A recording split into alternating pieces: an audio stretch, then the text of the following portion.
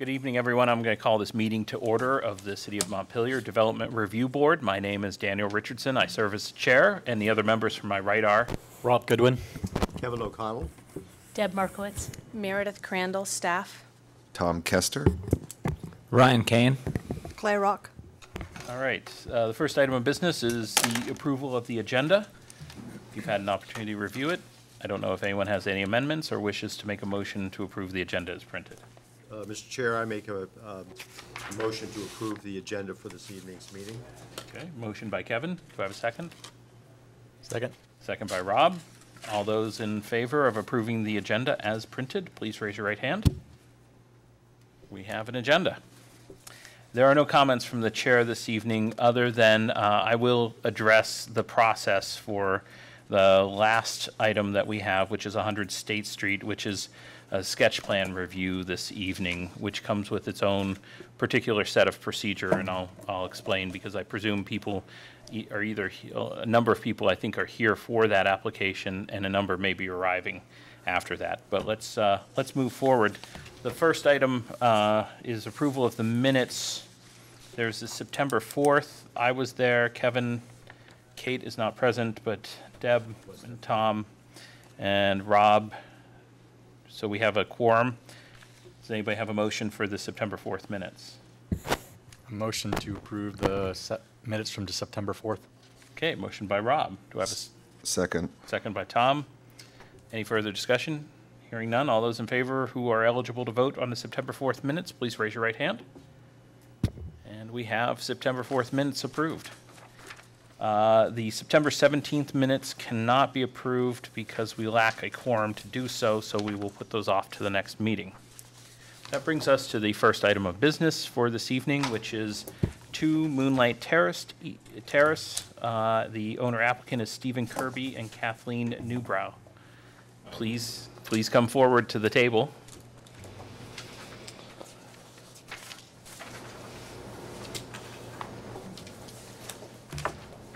So what I'll, um, I have some you have some, landscape drawings okay. that Uh, are supposed to be distributed. Why don't you just go ahead and distribute those, and then we'll have you introduce yourself and put you under oath.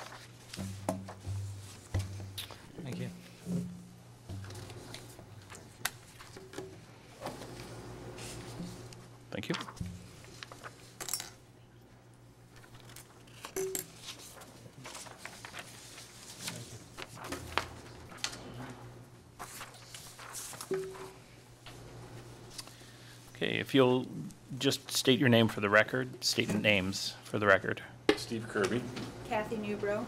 Okay, if you'll raise your right hand, do you solemnly swear or affirm that the testimony you're about to give for the matter under consideration shall be the truth, the whole truth, and nothing but the truth under the pains and penalties of perjury? I do. So, why don't you just give us a brief description of what you're seeking?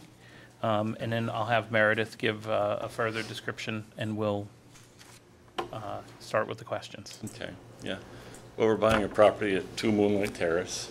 um, And we're hoping to get approval to convert the existing office space on the first floor to two um, apartments.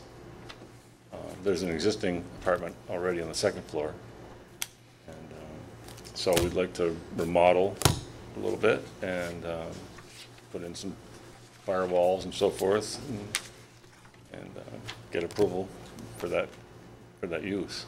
Okay. Um, We've talked with Chris Boyd to a lot of extent, had him visit the site, know what, have a pretty good feel for what he wants to see done to make that happen. Okay, so this is just a conversion from an office to two one-bedroom apartments. Right. And then, uh, are there, uh, I know that part of the application is changing the parking uh, area. Apart from that, however, are there any other proposed changes to the exterior of the building? I understand, obviously, interior, you may be doing some changes, but we're, on the DRB, we're concerned primarily with the external. Yeah, well, um, since you brought that up, I meant to mention it, is that I, we've decided to decline the request to move the parking area in any way and change it in any way. We're gonna leave it as is, 'cause it seems More like- involved than we guessed. Yeah, yeah, yeah. these, these bylaws can have those surprises. Um, And so, so there's no request to change the parking area. Um, It's just strictly a change of use. That's correct. Nothing about the external is going to change entrances, exits, pedestrian circulation. Well, entrances, yes. We, we would like to put in a new entrance, as the drawing shows. Okay. um, On the uh, north side of the building. So, and that will allow each apartment to have their own uh, means of egress without sharing that means with any other tenants. So when you've converted everything, it- it'll be just a residential? That's At that point, no more office? Correct. That's right, yeah. Okay. Meredith, um, it might be helpful, um, I know the staff had written up a number of reports about the setbacks with the parking, but given the applicant's shift in position to keep the parking area as is, could you highlight what issues um, you believe are still relevant for us to discuss? Yep, give me one second to make sure I've checked everything off that does no longer pertains. Um, So we still need to deal with landscaping. And then, other than that, um, it would be, if you felt like asking about it, and you don't have to, you can ask about bicycle access and storage under section Right. 3202 on page nine. And then it's really just landscaping. I mean, the, the main reason that this application is here is because it's conditional use to go strictly residential. Um, and then the, you know, if, if the landscaping, landscaping exemptions, waivers Okay. aren't things that I can approve. Thank you. Um, So let's dive in to the landscaping question. I know you've circulated, if you could explain what's on the landscaping proposal um, and what you're proposing. Yeah. um, Well, it's pretty well um, populated already with trees, certainly a lot of mature trees, and many, many saplings, which are pretty much outline the perimeter of the property. Um, There's um, shrubs as well. Um, They're kind of um, mixed within the saplings on the edges of the trees around the perimeter um, with the exception of the hydrangeas um, that are near the entrance of apartment two, and uh, some lilacs and honeysuckles um, um, on the north side, or excuse me, on the south side of the building. Um, There's, there's quite a bit there now. Um, There's, I think it's densely vegetated, yeah. So are you proposing any new um, landscaping? Let me start there. Um, I'm not proposing any unless the board feels that it's necessary. We would comply. Well, I'm, I'm noting, so just under uh, 3203G talks about the standards for landscaping, and it's the, every five feet of building perimeter that requires one shrub, and for every 30 feet of exterior perimeter, one tree. But that gets, you, you, you have the opportunity to count your existing trees, so according to staff's calculation, and unless you have a reason to dispute this and say, no, it's a much smaller building, the staff has calculated this uh, roughly 172 feet of principal building exterior when they measure all around, which translates out to about 34 shrubs and five trees. So I, I, I think, based on this, and uh, um, the drawing you gave us shows in green the existing trees. That's right. And shrubs. Sorry if I clarified That's okay. that, yeah. Uh, and you have a count. So you're, you have approximately 25 to 30 trees and 20 to 25 shrubs. And So the proposal would be that if you add them up, so if you have, you know, just taking your low numbers, 25 trees and 20 shrubs, that's 45. That's still roughly um, about six more than you're required to if you count, if you add up the trees and, trees and shrubs. You're just more evenly divided between tr- trees and shrubs than subsection D, G would require you. Is that correct? Yeah, I I think there's a lot of saplings as well that I didn't even include because, um, well, there's, there's, must be 30 to 50 saplings, you know, trees of 10, 15 feet height that are scattered all throughout Okay. along the perimeter. But yes, yeah, right. Any questions from the board about the trees? I think that's pretty, pretty adequate um, testimony. Uh, Let's ask about the, the bicycle storage. Um, Is there any, we simply ask, we're not, re- it's not a requirement, but are there any bicycle storage areas or opportunities if tenants have bikes, if they commute by bike, to store? There's a lot of trees to change.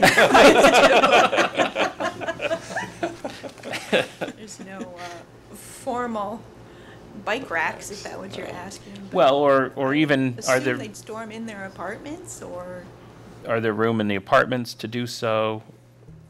Um, yeah, well, I think certainly in apartment two at the bottom of the stairs, there's plenty of room. Um, Okay. Um, apartment one also has a mudroom. I'm sorry, apartment three, our proposed apartment three, um, has a mudroom entrance there, and that has room for a bicycle there. And the only one in question would, might be apartment two, where there might be less room for a bike stored inside. but- but, uh, but it's a, you know, fairly 900 square foot apartment, so Right. tenants get creative. They'll find a place if they want to. But there's no garage or shed for, There is, well. Not for their use. There is a Not for their garage, use. but the Right. fire marshal has advised us to not allow access because it's not sheet rocked properly. So, Right. so for now, we won't allow access to the garage. well, and we're not gonna, I don't, okay. Um, And there's no plans to put in a bike rack or an, No, well, let me ask this, if, if a tenant asked for one, would you be amenable to such a thing? yeah, Yeah. I guess. Okay. I mean, where does one get a bike rack? I don't know. We've always,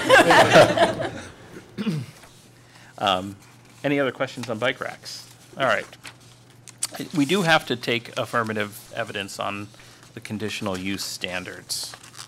Uh, And this is more um, along the lines because there's two types of allowable use. There's permitted uses, which are just simply uses that are allowed without question. And then there are conditional uses in which we have to make an examination, to make sure the use you're proposing is not inconsistent with the area. Um, So one, the first one talks about the capacity of community facilities and utilities, and says the applicant shall demonstrate that the proposed development shall not cause a disproportionate or unreasonable burden on the city's ability to provide community facilities and utilities, including local schools, police, fire protection, and ambulance service, street infrastructure, and maintenance, parks and recreation facilities, water supply, sewage disposal, and stormwater systems infrastructure. Uh, So this is an existing building. It already is occupied during the day as an office use. You're simply looking to convert it to residential use, not changing the footprint. You'll be adding sinks, is that correct? Not technically. Okay. It was a doctor's office, so there's a lot of sinks already. yeah. There's, Um, there's three total now, and there will be three when we're done. Is this on city sewer and water? Yes, yeah. Um, And so you've already spoken with the Department of Public Works about changing? Yeah, an indirect connection and having an engineer Mm-hmm. make sure it's, uh, you know, would fit the engineering Sure. specs. and all that. Yeah, That- that would be in process if we're approved, of course. And so there are two one-bedroom apartments as well in here, so it- it- we're not talking about uh, a huge number of tenants coming into the, the site either. At most, two occupants of one-bedroom apartments, whether that's a small family or a single person. Yeah. So I, I think the evidence is that there's no impact on the schools. Um, You're not changing the driveway, and uh, have you talked to the Department of Public Works as far as the width of the driveway? Is it sufficient for ambulance and police to Oh, enter? um, No, we're assuming since there is an existing our Okay. two-bedroom apartment already, that it's in compliance. Yeah, Yeah. Okay. And that's, be- and be also because they're not making any changes as it is, and with that much room to turn around in, Department of Public Works didn't have any co- concerns about that issue. Uh, No impact on street or infrastructure because there's no changes being proposed. Um, Maybe someone who lives there will use our parks and recreation facilities, which is a good thing. Um, And we've already talked about water. So the next section talks about traffic. The applicant shall demonstrate the proposed development will not have an undue adverse upon traffic in the area, including volume, type, and timing. Traffic generated by the proposed development shall not unreasonably and disproportionately contribute to reduced level of service for affected streets. That the reasonable measures have been taken to minimize or mitigate the amount of vehicular traffic generated by proposed development.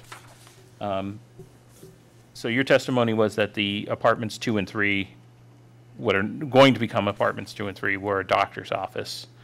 Saw regular visits during the day, multiple trips, and this would reduce down to essentially two residential units. Seems, seems that way. Okay. Logical. Yeah. Hearing no further questions on traffic, um, I think that the evidence shows that it's likely to have no impact to very little impact. Um, The character of the neighborhood standards, the applicant shall demonstrate the proposed development shall not have an undue adverse effect upon the character of the neighborhood. So in this, um, if you could just describe, this parcel sits along River Street in 302. Are there other residential uses in the immediate area? On Moonlight Terrace. Moonlight Terrace Yeah, is- is all residential. yeah. Okay. Um, I know 302 itself is more of a commercial corridor, but a- along Moonlight Terrace, are other residential In properties. Moonlight Terrace, the property and the building set back quite a ways from River Street, so it, it really feels like part of that residential neighborhood already, rather than the commercial part. Does this property sit up on a Yeah, hill? Okay, it so does, it's, yeah. it's lifted literally up off of River Street? Yeah, right. Okay. Doesn't Uh, have a line of sight even to River Street, really. The next one is yards, lot coverage, and landscaping. New development shall maintain a sense of open space as appropriate to the neighborhood by balancing the size of the building footprint um, with the mass and structure and size of the lot. This isn't applicable because you're not proposing any changes to the exterior. Uh, The last one is performance standards. I have Uh, question. Yes, On the exterior, are you gonna be putting in a new entrance for the apartment two on the exterior of the building? Yes. Yes. Yeah. So That would go underneath, is there like an existing exterior stairwell? Yeah, that's There'll right, be a there new, is. there will be a new entrance on the exterior of the building? Yes, And there'll be no lighting for that Oh, new there'll be lighting, door? there will, because it's required by the National Electrical Code to do so, Okay, yeah. thank. Yep. Any further questions on the exterior? Uh, Hearing none, so we have the uh, yard, lot coverage, and landscaping. New development shall maintain, I'm sorry, we're down to performance standards. Um, The board may impose conditions deemed necessary to further the purpose of Chapter 330, including performance standards um, on uh, the project, whether the project is expected to contribute any of the following to the neighborhood, noise, glare, odors, vibration, electrical or radio interference, waste storage needs, particulate matter or airborne solids, or flammable, toxic, or hazardous substances or waste. Are any of these things likely to be triggered by your change of use? I don't We think would so. work hard to avoid those. Okay. It might be something good to put in a lease, actually. Those are always good terms to put in a lease, no, Yeah. no toxic substance, don't bring them. um, but apart from that, um, I think the evidence is pretty clear that this is, um, a residential use. Will there be a plan for regular trash pickup, um, provided by you, the landlord, as opposed to the tenant, or? Yes, Okay, that's, that's how it's currently operating, so we'll just continue that service. okay. Um, Again, the evidence is that this is in a residential neighborhood, and this is consistent with that.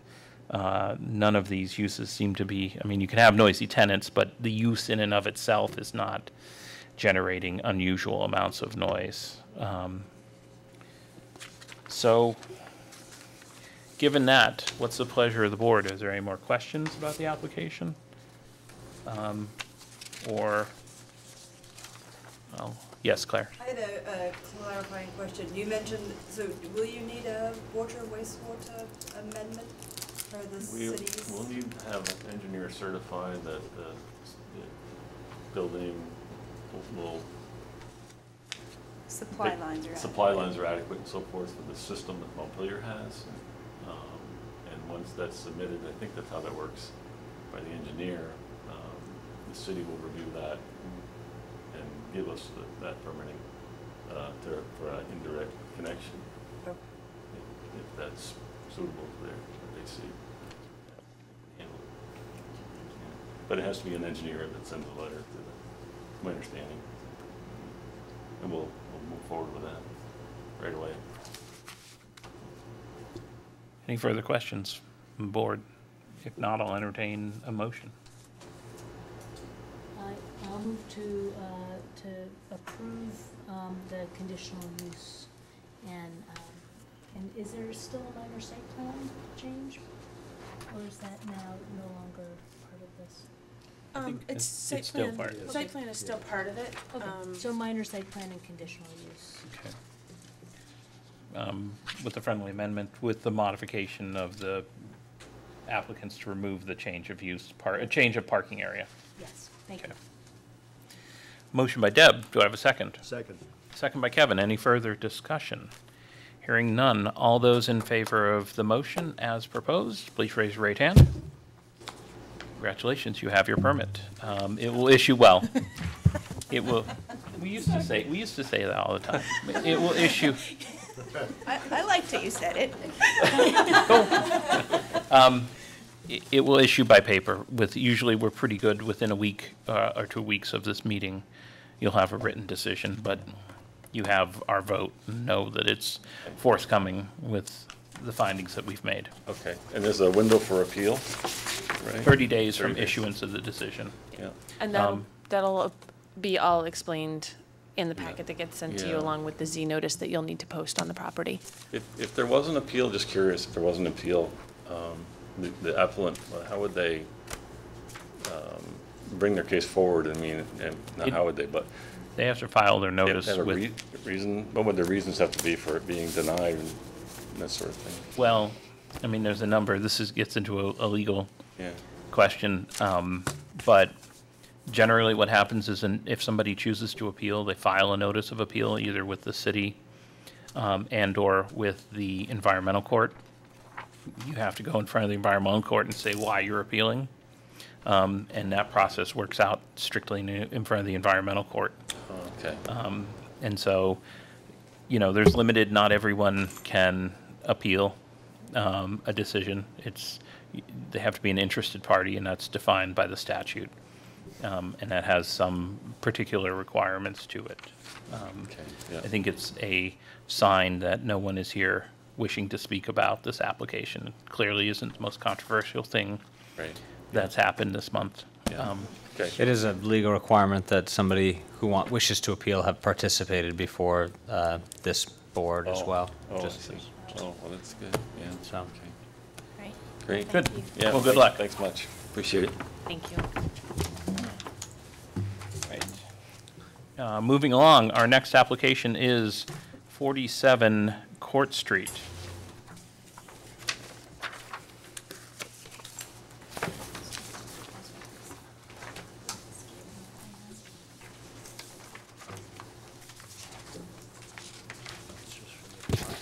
Thank you.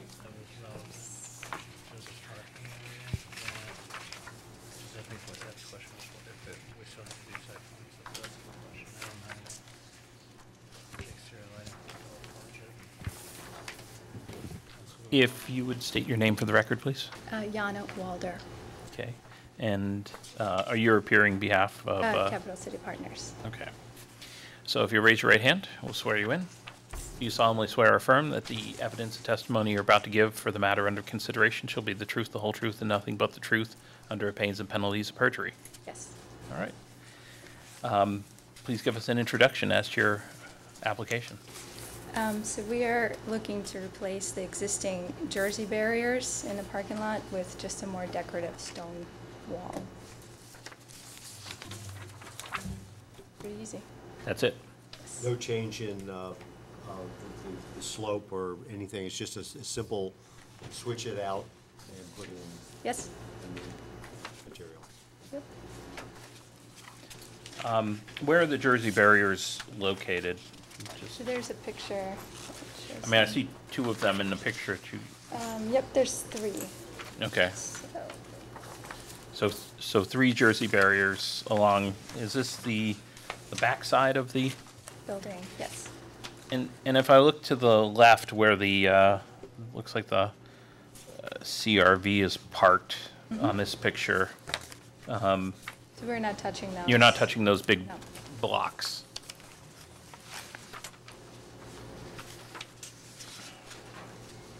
So Meredith, is this technically a steep slope behind these? This does not look like, Um, if you take a look at, there's a couple of pictures. So if you, I mean, one, if you look at what Yana just recently handed out, um, this is off of the steeps slope map. It's a steep slope slopes overlay. Um, and so it's, I mean, technically where they are is the slope. Um, and, you know, there's, there's, and that's one of the steepest parts of the slope. There's gonna be some impact on that slope. yeah, but if I'm It's- looking, if I'm looking here at this picture, it looks like it was taken in winter without the leaves on the trees. I mean, that does not look Yep. like, But if you look, well, I know, but I I, mean, I, just the slope behind it. I'm just looking at the slope behind it. I mean, Mhm. obviously, the, the, the wall itself, um, has a vertical, s- uh, very steep Mm-hmm. slope, but the, the slope it's supporting or that it's, it's holding up, I just want to be clear, it's not steep, uh, under our definitions, or at least it's not a, greater than the thirty percent.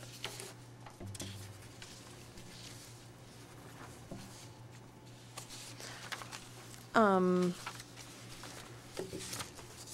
I mean, even, I think, even. I think that's right. Okay. Hold on. It's just one of those, if you take a look at, thing is, I don't think the whole Jersey barrier is this whole aspect here. Mm-hmm. And that's what reads as a steep slope on there. It's not like we have a, a, a full engineering report on this because it seemed a bit excessive Sure. to get a full engineering report on replacing those Jersey barriers, because I agree, part of, part of what reads as the slope is the actual Jersey barriers themselves, Right. and- which is the steepest part right there. And maybe I'm, Seems I'm, odd. I'm simply trying to, for, I think for purpose of just trying to understand and, and narrow what we have to do. If, if we're really just talking about the steep slope as created by the Jersey barrier in and of itself, I think that's a different task for us to tackle. than- Agreed. Than the, the slope behind it. Um, And this is, this is really the key issue for our review, right? This three. Yeah. So. Yep. No, the key issue is this, is the slopes, that's why this is here. Um, because unfortunately, technically, it reads as a steep slope.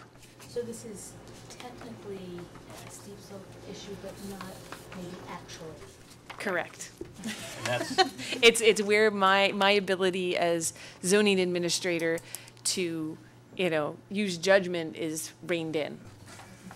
I'm, I'm interested in, um, the, the letter that we received from the neighbor, um, that relates to this a little bit, where the neighbor indicates that she's, really thinks it'll be an improvement to have, uh, the wall, but has some requested that we think about, um, uh, the, the grade.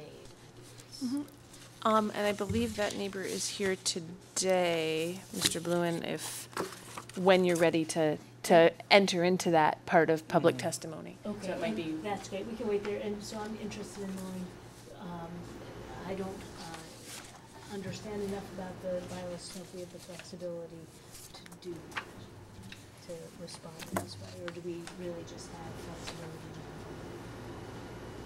Um, Oh, yes, I'm sorry. So um, to say that again, it's, Right. it's, uh, I'm not clear if we have flexibility to do what's being asked even uh, by the neighbor. And so uh, I'd, I'd love some advice on that, Well, at when the time comes in the Yep. discussion. Well, for the scope here, because at this point, the entire application has to come before the Development Review Board. Yes.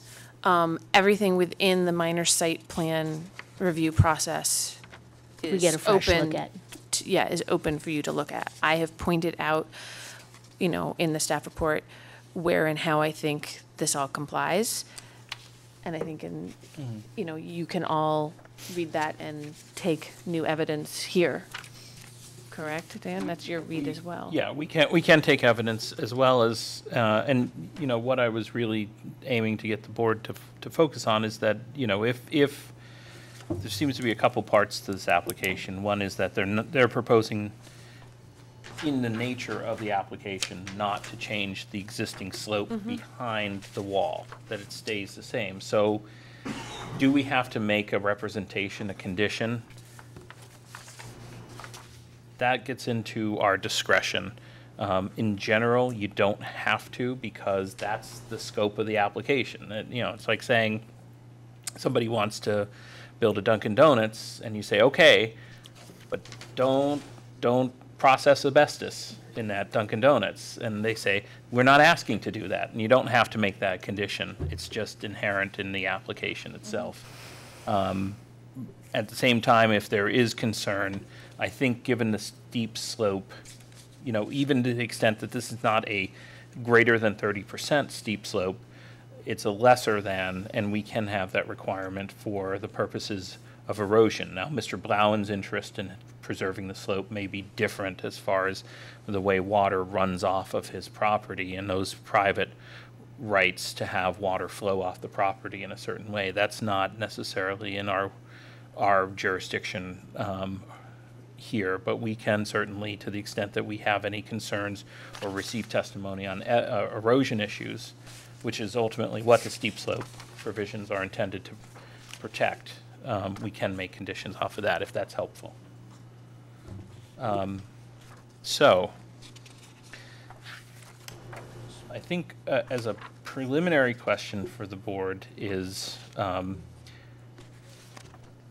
is one of, you know, do we determine that, and if we look at section 3007 uh, of what a steep slope is, does that necessarily include a retaining wall, which is always going to be greater than 30% because walls tend to be vertical?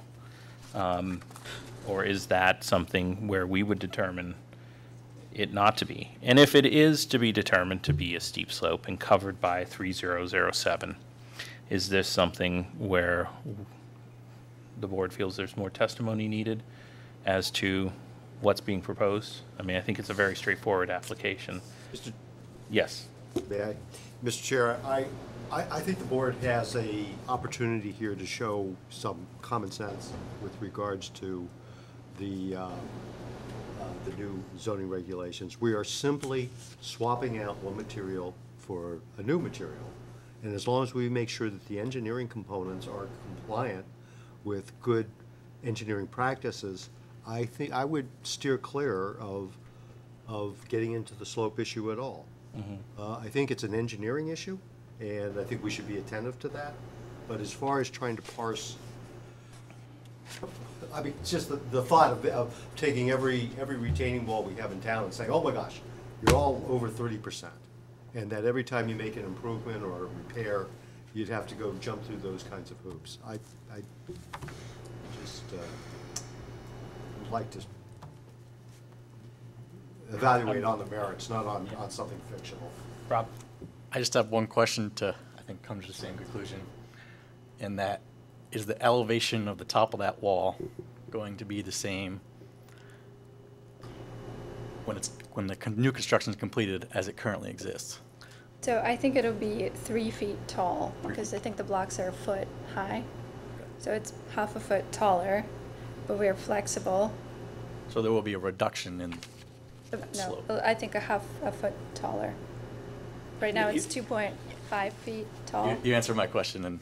Okay. Yeah, so the, the slope behind it will actually be less of a, a, uh, it'll be less of a slope. It'll be closer to even because you're, you're raising the bottom a little bit. Okay. What's a, what's the pleasure of the bo- rest of the board? I think there's, yes, Claire? I, I had a, a question. You're just talking about replacing these one, two, three, four, correct? Mm-hmm. And then is, is this the neighboring? That's my property. Right here, so your concern would be if they did something here, what would come off here would come over into. Only once my turn. We'll, we'll give Mr. Blau an, an opportunity. I know he'll, he'll want to testify, but I, I want to touch upon this threshold question because I think it shapes our questions for Mr. Blau and, or for the applicant as well as their testimony.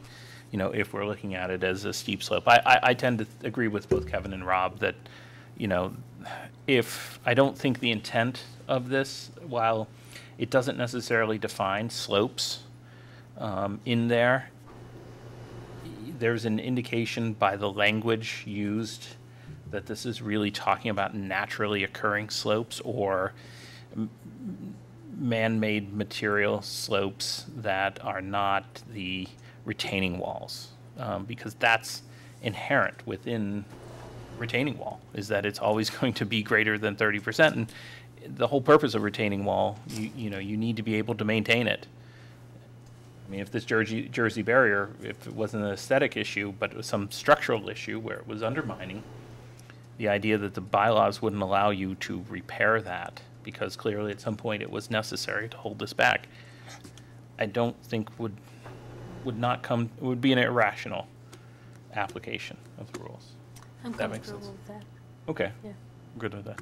So, Mr. Blauen, I think it- if you wish to testify or have anything you wish to offer, please, uh, the microphone right there is, and just introduce yourself for the record. Thank you. My name is Jim Bluen. I'm the owner of 45 Court Street.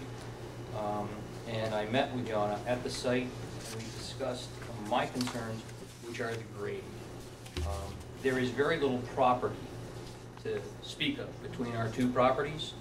Um, The stones that you'll see that are placed on the grass, which is part of my property, have been put there to prevent plowing from that property of ending up in our walkway down below. The column that you see on the back side of the house was taken out by a plow individual several years back. Um, Probably the most important aspect of this testimony is that that fourth barrier goes beyond the grass. That's my property. Now, I think this is, we've talked about this, I think it's wonderful they want to replace a Jersey barrier, but I'm petrified, because I know that Yana's not gonna be driving that excavator, okay? Somebody gets in there and stuff changes really quickly, and then it's done. If they can pull that barrier and put those new blocks on that existing grade, because I would bring you to another picture, that looks like this, it shows you that this raise from this point to this point is quite steep. So I'm all ears about how high this is gonna be, but it really needs to be stipulated that it comes off this grade, not this grade. And if it does, I'm okay with that, as long as there is a flat, flush face that cuts back into their space. So anything that they plow or any rain that comes down continues to move in the direction it's moved for years. Okay, That's all. And I just, I want it to go down as saying that as long as they put that replacement wall exactly where that one is and don't touch any of the dirt to the right, I, I'm in favor of their proposal. okay. But Um, I'm petrified. I have to say that the previous owners of this building said the same thing. Those block walls that you were looking at, that you didn't want her to move, they moved them. No permission, it was a field stone wall. So I get a little nervous and now I show up. I'm glad that she showed up, we've had a great conversation, but I want everybody in the loop. So if that wall drops 18 inches and then is 26 or 25 inches up, that it dropped. The grade dropped with it and the water's gonna move. I only know that because I've been there for 33 years. Thank you for your time. I appreciate their efforts.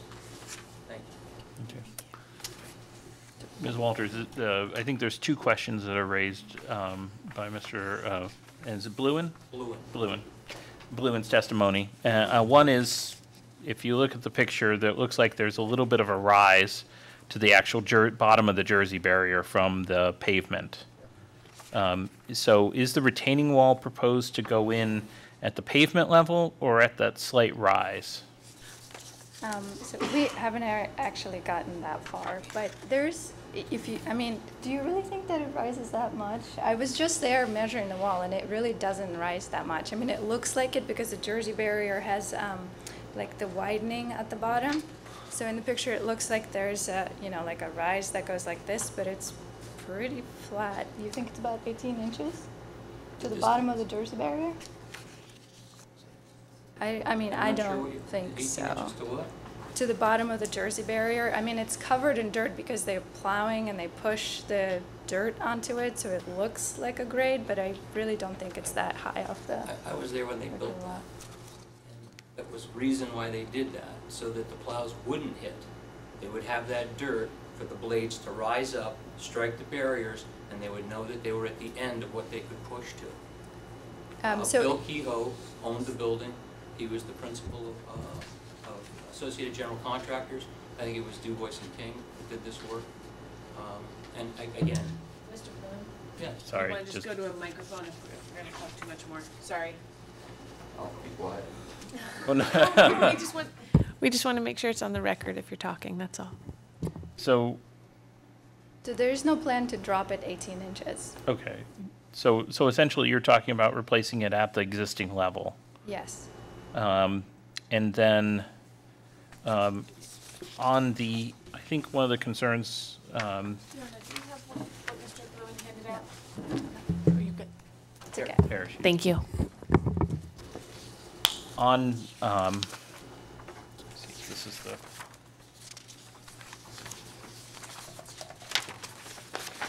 Think on this picture, which looks like it was taken from underneath the deck, uh, walkway area, you know, the Jersey barrier, as, as Jersey barriers are designed, just simply ends. And, um, is, is there going to be an end piece on, on the wall that you're proposing? No, Um, so- basically just, just an end of a stone block. Okay, and is it going to extend past where the existing Jersey barrier is? No, and we're very flexible. We can even shorten the wall. It's, it's not a We just figured it was principal gonna die into the hill, just like it does now. Mm-hmm.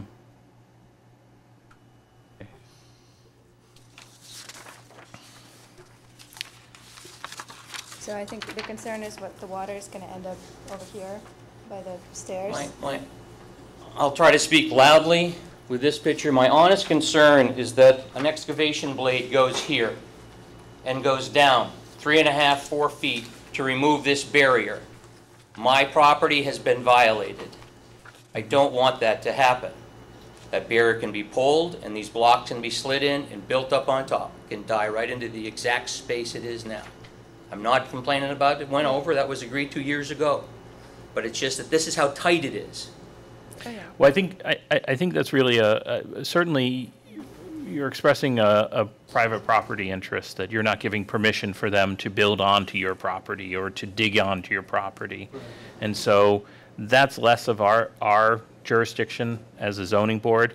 You know, we can approve this wall, and we can certainly, as I understand the representations are from the applicant, is that she's not seeking to expand the wall or proposing it tonight. Now, whether the excavators come and dig into your property and effectively trespass, that's a little bit beyond the zoning, and that's more in the private, private property rights that you have, because you're saying very clearly to the applicant, I don't give you permission, and I presume you're not going to change your mind. Um, And so, but that's not necessarily what we can put on as, as far as requirements for zoning. I mean, That's why I asked you to address the grade. Because I thought that that was in your purview. well, And it's just, nobody, what my concern was, was when an email came back and said, we don't plan to do this. mhm. The word, I don't plan to do things, doesn't hold so much water with me anymore. Again, she won't be the one running the excavator. I know Right. what the plan is, but I've had plans before, they don't always go the way we wanted them to. I want to be very clear that I came, I aired my concerns, and if the excavator does get a little aggressive, do all that, it sounds to me that, tough, tough for me. Well, I, I- I believe, don't, no, doesn't your permit? I only know because the deck that you walk in under, I was forced to reduce by eight feet on both sides at another time by this board. Eight feet, I had to take off eighteen thousand dollars because it exceeded the original plan. Mm-hmm. So I think you've got teeth to say, as long as it's done exactly the way we say, we agree. And if it doesn't happen the way we agree, then I have recourse. Or, I mean, I'm happy to build, you know, find out where the property line actually is and just build it up to it or not even touching the property line. I don't need to go like all the way, okay. absolutely. Well, I, I would say as a practical matter, if we approve the plan as she's proposed it, and then she does something different on the property, then it's a violation, and you could bring a complaint. So you would have recourse. And then, uh, as the chair described, you also have private recourse. So a permit will be based on, on her application, and, and if she doesn't build it in accordance with that application or, and our approval, then it's an enforcement matter. If you can enforce that. Well, there's no, absolutely, there's a procedure for enforcement. Um, We don't, you know, there's, a- i- in the zoning administrator, there, in the zoning office, there's an enforcement uh, mechanism. But then you also have the ability to, in- to have a private, to, to have a civil case as well. Scared. I don't think I want to do it now. okay. So, any, Claire? Um, is, was a site plan submitted, one that's been based on a survey or I shows where the have- private property line is? No, I mean, even when we bought the property, there was no survey or property lines or anything like that. Because I guess I have a little bit of a concern to say, well, where, where is the property line? And, and so Yeah. then having that clear understanding of, of where that is, just so that, I think there's probably No. somewhere measurements like from the corner of the building to the property line. I'm sure that somewhere it's noted on the, The in the two pins records. that you'll find will be on the right-hand side of your driveway and then up in the corner by Capitol Apartments. Okay. I, I think this is where I think we have to be careful, which is, um, you know, we're not here to adjudicate where the boundaries are. We're not situated for that. Um, and we have to, you know, we're asked to approve or not approve as far as the zoning bylaws go, um, the application as proposed. Um, obviously, if she, you know, if, if we would approve a permit that um, involved going on to somebody's property that, you know, think of it, uh, I think the concerns that have been expressed are, okay, you approve this wall, but what happens if, if the excavator goes a little bit to the right? Um, My point was simply, um, you know, that's certainly a private property right about trespass, but we're not here to, uh, you know, adjudicate where, where the boundary lines are. We're just, we're just here. wasn't asking you to do that, I'm asking you to maintain the grade that exists there today. And I think that's what the applicant's asked, is, has presented, and, and that's what we're seeking to approve as a permit. And I'm just clarifying for the purposes of both you and for the other members of the board, so. Uh, Any other questions? Hearing none, anybody have, uh, an, a motion or, Um,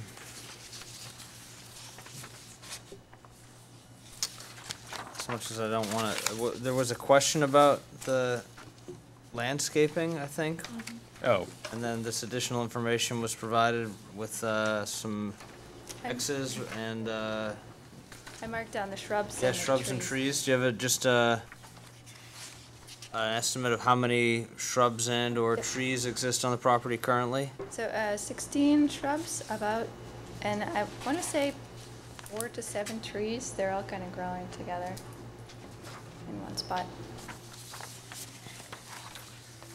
Are there any locations on the property that you think would be suitable for additional plantings that would uh, provide uh, shading for walkways, visual screening for the property, or any of the other criteria that are listed in the, Uh, landscaping mean, section? I think um, just right up uh, at the top of the property by, sort of towards the apartments, um, right along that road, we could plant some things, definitely.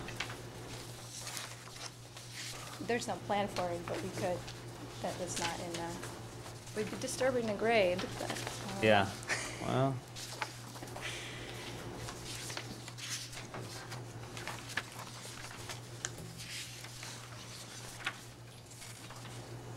I'm happy to plant whatever you want.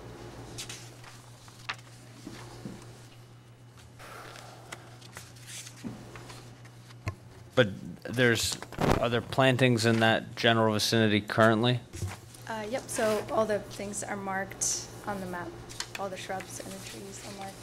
They're You're just saying marked. there, you you hypothetically could plant additional trees and shrubs in amongst those existing trees and shrubs if you needed to, Uh, but? Yeah, probably just up, up towards the uh, back of the property.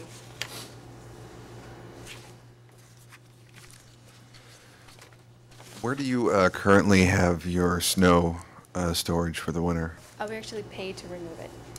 So it's, it's, uh, they'll come in and, and plow and then remove it at the same time? Eh, Every couple weeks, yeah. Okay. During the interim, does it stored somewhere? Uh, Yep, just we push it against the Jersey barriers. Okay.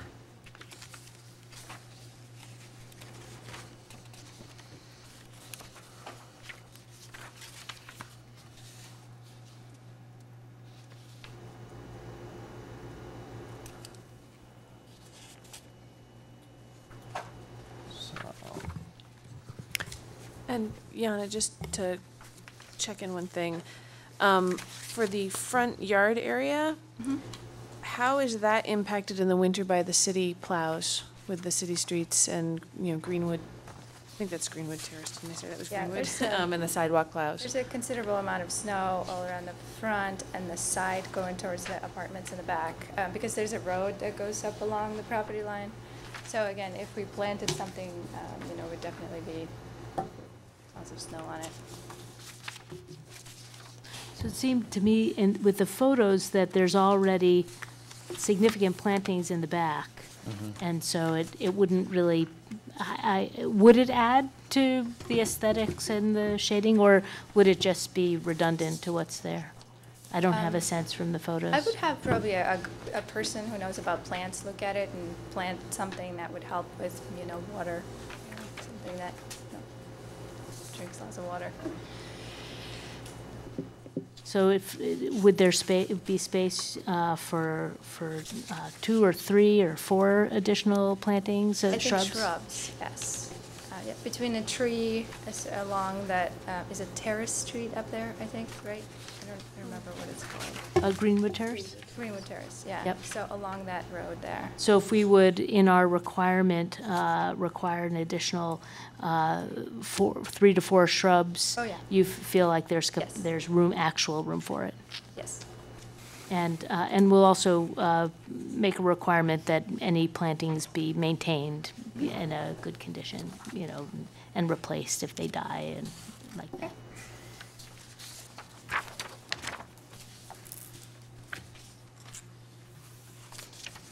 Let me ask a, a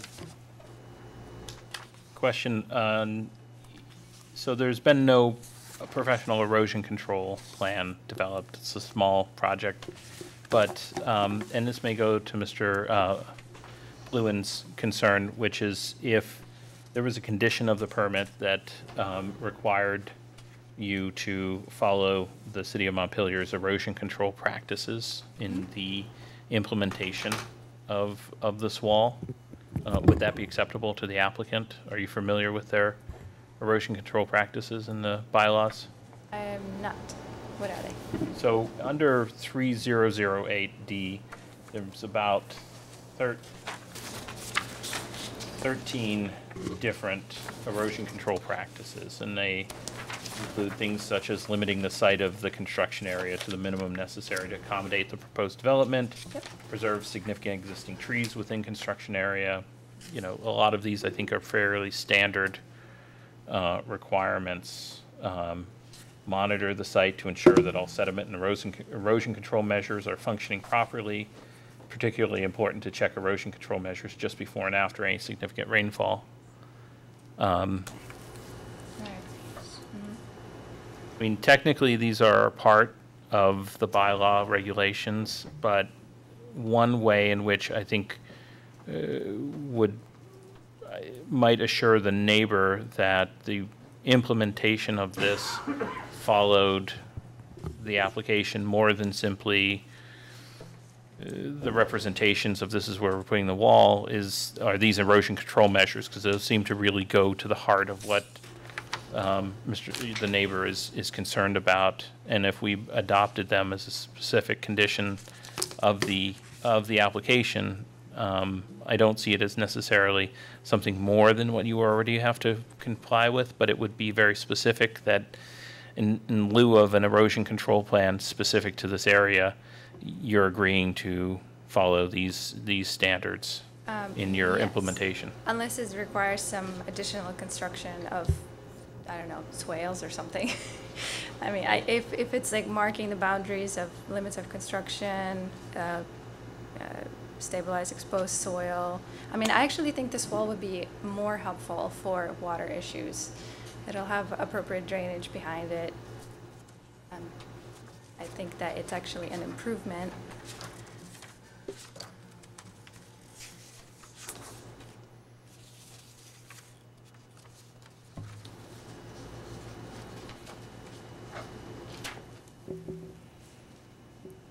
Know, I don't foresee there being more water, um, Mhm.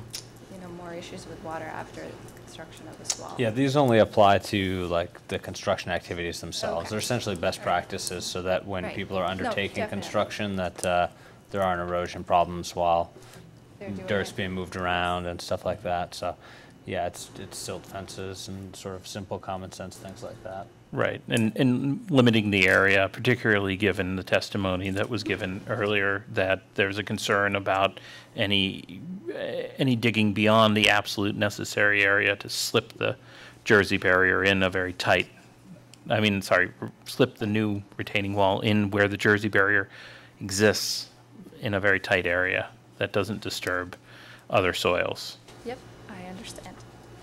That, that makes sense? Um, Any further questions? I appreciate taking up the issues that I almost glossed over. Uh, I'll entertain a motion.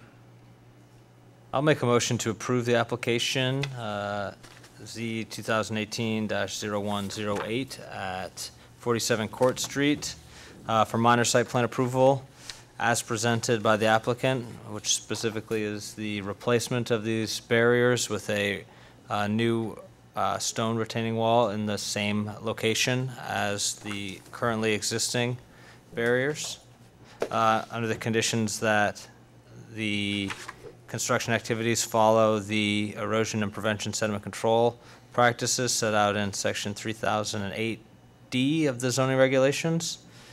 And with the additional condition that four uh, additional shrubs be planted on the property pursuant to section 3203.g of the zoning regulations, and that the shrubs be maintained in a healthy condition with dead or dying plants being replaced within one growing season with a comparable plant um, of the same size requirements. Motion by Ryan. Second? I'll second it. Second by Deb. Any further discussion? Hearing none, all those in favor of the uh, motion as stated, please raise your right hand. We have, uh, all opposed? Two, three, four, five, six, six to one. We have, uh, you have your application approved. We'll issue a written decision uh, presumably in the next two weeks. Thank you.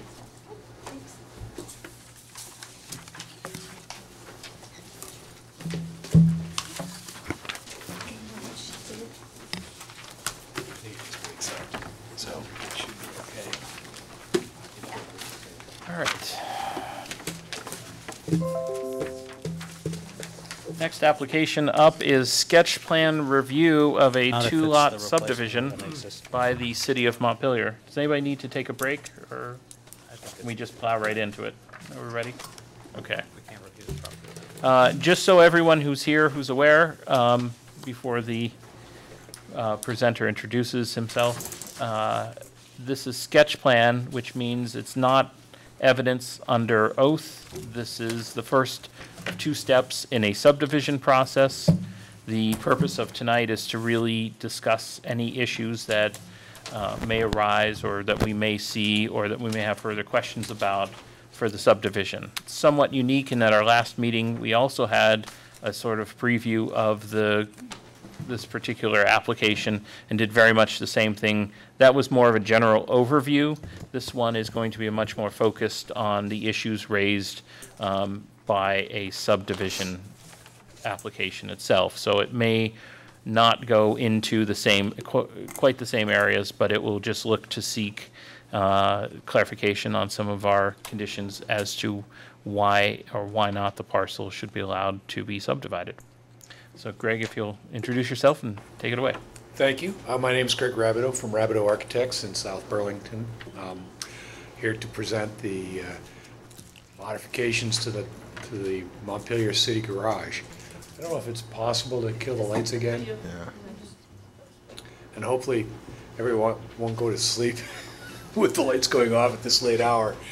Um, This is a, uh, this is a version of the uh, plat plan overlaid onto an aerial photograph, and it, it it picks up on a lot of important things that are going on around this site.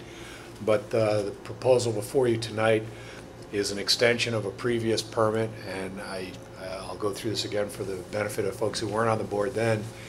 Um, The Capitol Plaza Corporation sought and received approvals for an 84-room hotel, which is this building here and at the time was a 220 space parking garage. And that proposal has been changed now to where the city is going to subdivide off a lot here. The property line is between the two buildings. That roughly half acre lot will, uh, will be used to construct a 348 space parking garage, which you see here now extending down into what is the lands of uh, Mary Haney. And if you've walked the site, roughly a third of the way down the garage, there's a little bit of a drop from the Capitol Plaza parking lot to the, uh, to the uh, Haney parcel. And This bunch of contours, contours here uh, represents that. Obviously, another very important feature of this map is the uh, north branch of the Winooski River. And uh, here's the uh, main channel of the Winooski River. Um, this is important for the project in general, as I know the city is pursuing plans to develop a park right here to be called Confluence Park. And as part of that, you can see uh, the trailway of the bike path and the proposed bike path bridge here. The existing railroad road bridge is here. Um, The structure is a, uh, is an adaptation of the earlier approved design with some major improvements. Wh- What you see here is the same view that was presented to the city council on last Wednesday night. Um, Essentially, what is proposed is a four-story garage. The highest portion of that would be immediately adjacent to the Hampton Inn. Um, You can see here that on the opposite corners of the building, there are also these uh, stair tower extensions. But principally, the, the building line is down here. Uh, And you can see some of the design themes that are being developed as the plans are, are uh, improved. Um, The, the pattern, uh, the building facade encom- encompasses both masonry and stone uh, facades alternated with panels of, uh, of a um, living uh, material grown on a matrix called a green screen or a living wall. Uh, Those are sort of brand specific, but what it is, is it's a uh, type of trellis. And what's being proposed is that growing from the ground up would be um, a mixture of of vines and ivies and other climbing plants uh, that our landscape architects estimate will, uh, will grow in over time and fill in after about three years. One other uh, distinctive feature uh, in the overall scheme of things is the creation of opportunities, as indicated here, for some significant public art. Um, This happens to be the view of the project, uh, sort of, we're up in the air, but um, looking from the south and the east towards the Capitol Plaza building to the north and the west. And to put it in a, uh,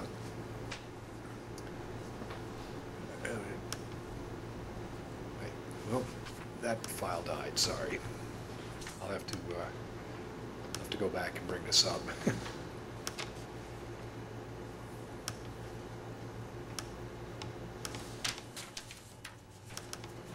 There we go. Okay. So this is a new view that in the previous rounds of approval were, wouldn't have been available because, uh, as this construction fencing indicates, previously there was a building in this location that's been torn down. But this gives you a, a view from Main Street and, and obviously there's Shaw's and here's the railroad track. So I've got my back sort of uh, against um, the building on the corner there. Used to be a bank. Uh, you can see here in the distance, this is the garage. There's one of those pieces of art that I talked about. Um, there's the Capitol Dome to help orient you. And then these large masses where my cursor is going, uh, that's the existing Capitol Plaza. And this is the uh, proposed, or uh, previously approved Hampton Inn. I have a different view of that. If I can go back to my, sorry, it's, awkward, but everyone can see then.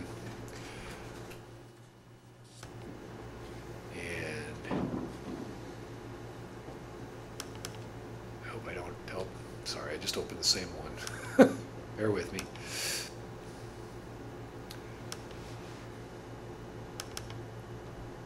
Uh, here's a view from a little farther back.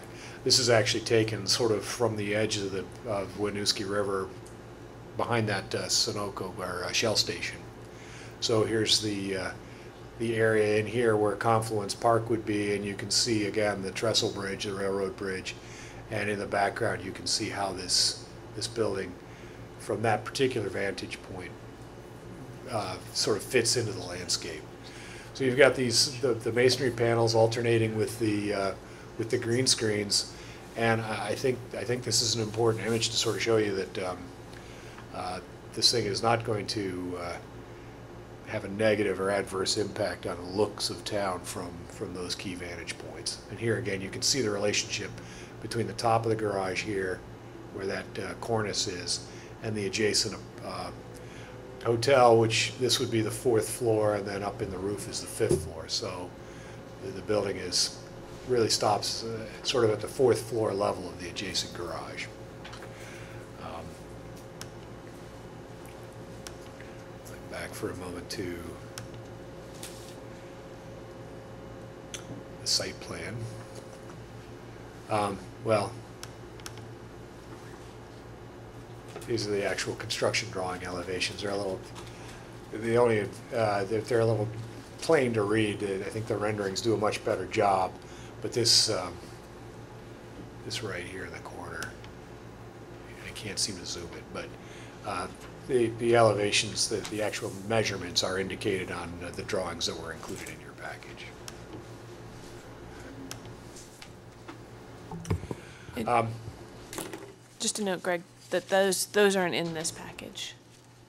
They aren't? Because this is this just subdivision, so the subdivision division isn't really about the height of the new building or anything. Okay, okay. All right. I can give you my copy of what's in this actual package, if you want. Um, I I have, I have both of them, but I, I won't dwell on the elevations, just trying to get people oriented to the project. Um, So, so uh, the, uh, the board will be asked um, at, at uh, regular plat hearings uh, to, to approve this subdivision of land, which would calve off about five point, point five four acres of land from the Capitol Plaza Corporation to the city. And then we'll also be looking for site plan approval for the garage, as well as an amendment to the previous approvals for the hotel.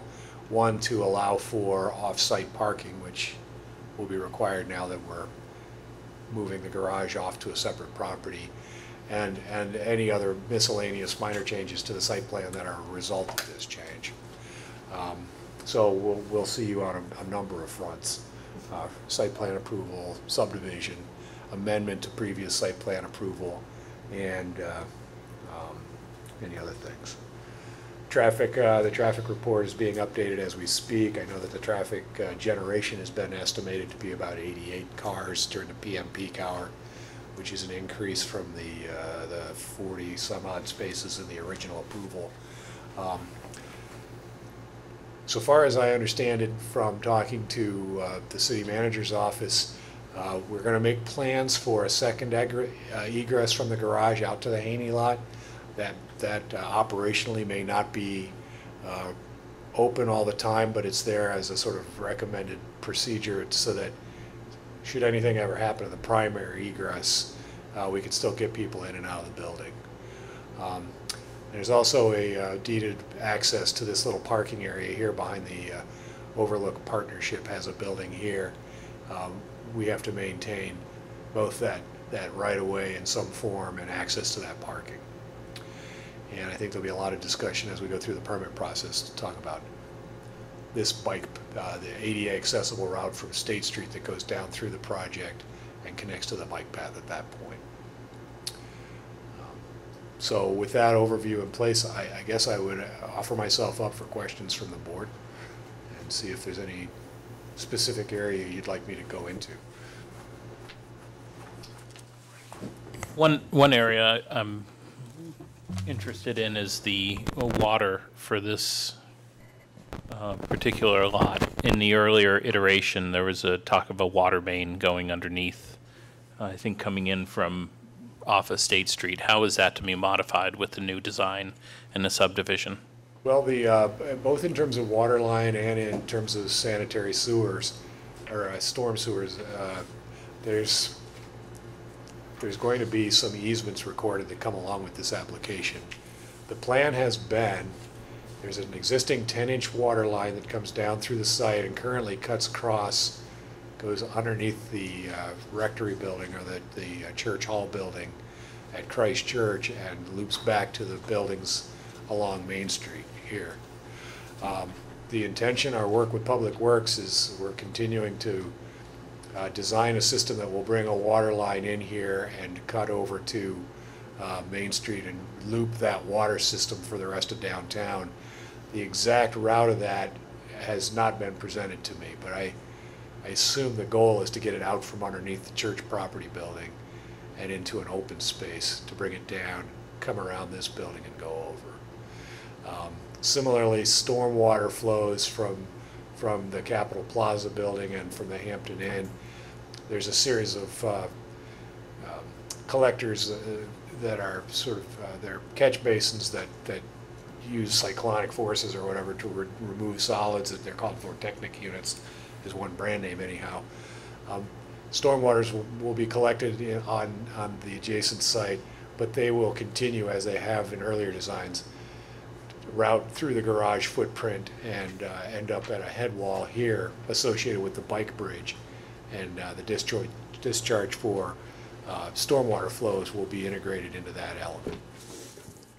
Um, So that will involve both the, the bike path project, the subdivided lot we're creating for the Montpelier City Garage, and the Capitol Plaza uh, project, including the New Hampton Inn. There is plenty of water. 10 inches is way more than is needed for the hotels. Uh, The, the idea behind it having this 10-inch line come through here is to maintain pressure throughout a loop system in the whole of downtown.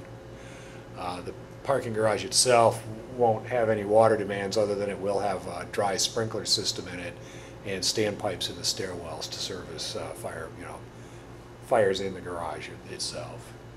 Um, And we are, we've been asked to explore by Public Works the use of uh, district heat for uh, purposes of melting snow in some locations. So that'll, that's going to be a part of one of these applications. As far as the stormwater, as far as the stormwater goes for the expansion of the, the garage, is there additional stormwater that's proposed for the Heaney lots that are affected, or is that, Well, there are, there are existing collection systems out there. Some of them are going to have to get rerouted as a result of the new footprint. Uh, There's, there's some catch basins that currently exist. I think this is one of them right here, um, that, that will have to get reconfigured as part of this uh, redesign of the site. Um, But the, the, uh, the flows down and through this corridor are essentially the same. I mean, all of this area back here is paved. Right. Hundred percent. Um, So the, the project site itself isn't really introducing much in the way of new stormwater catchment area. In fact, it's improving it somewhat by increasing the amount of green space in and around these buildings where it's currently parked. Um, The only stormwater that needs to be treated as urban runoff is the top deck apparently, which will, will have to go through a, uh, one of these vortechnic units or some similar means of cleaning the water, and then it, the, the, all the interior drainage goes into the sanitary system.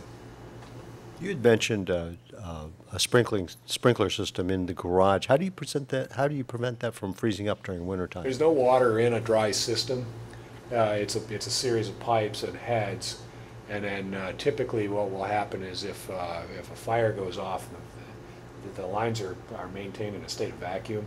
I see. So if a head pops, it'll trigger a bunch of valves opening and the water, the system will flood. Uh, Alternatively, the fire department can, um, can charge with a pumper truck or, or uh, they'll have standpipes in each of the stairs, which is typically how they'll fight car fires is they'll run up the stairs with, a- with a hose. Um, But dry systems are used routinely throughout Vermont. And I'm interested in knowing about, uh, you're thinking about floods in the river. It's, it's very, uh, you know, it's right up to the, to, uh, sort of the buffer around the river. Um, I assume that, you know, you've, the flood, the, the, uh, the flood folks in the planning office say that you're beyond where the risk is, or Oh, you have a plan uh, and, All of downtown is, in- is in a flood hazard area. Um, The floodway uh, basically follows the river. I, I have some mapping, but I'm- I'll just, uh, th- th- this stuff is outside of the floodway, and it's considered more of the adjacent uh, floodplain area. Um, The strategy here is for us to design this project in a way that it doesn't reduce the volume of storage capacity currently on the site. And the way we're doing that is by sort of flattening out this lowest level and, and dropping it down to uh, 519, I think, or 518, depending on final decisions. Um, So that, so that that volume is maintained. I see. What that means is, is essentially the basement or the lowest level of this garage is wet, fire, flood-proofed, which means in a terrible flood, water could flow into the building. that's great, and it won't damage things. But it will be, it would be free to flood, it would be free to flow right back out again. It's not impeded in any way. That's great. Um, And the, uh, the building elevations proposed for the project um, uh, show that there are, the ground floor is largely open with, with either security grills or living wall system. And so any of the actual systems uh, will be above that, that flood grade? A- Any, uh, any, um, any equipment has to be above level five twenty-eight. Uh, You know, with a, with a hydraulic elevator, we can, we could put the pump actuators either in the shaft on a, that ride up and down with the cab, and then, and our fire stop would be above five twenty-eight. Or we could put the, if, if we decide to use one that has a machine room, we can put that machine room on an upper level. The only other electrical equipment in the building, apart from the lighting, is, um, would be the equipment that runs the gates and takes care of payments and stuff like that. Somewhere in this, somewhere in this footprint, we're gonna build a, a small, like eighty square foot closet for a server and, um, and the electric equipment that runs the, uh, um, the- parking management equipment.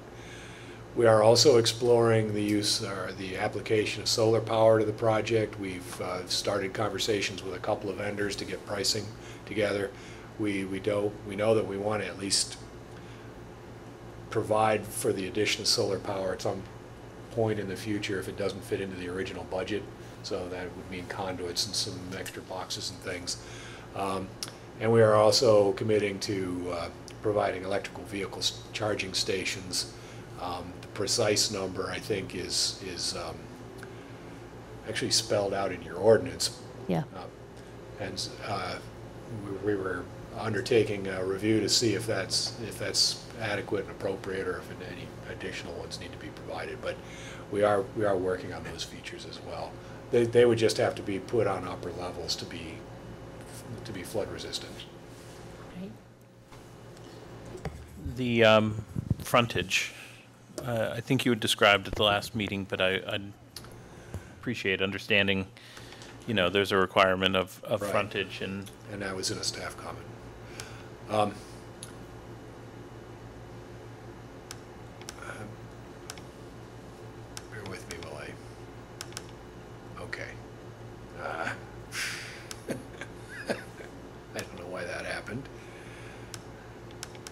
Luckily, we don't have any teenagers here to deride me for my poor computer skills. Um,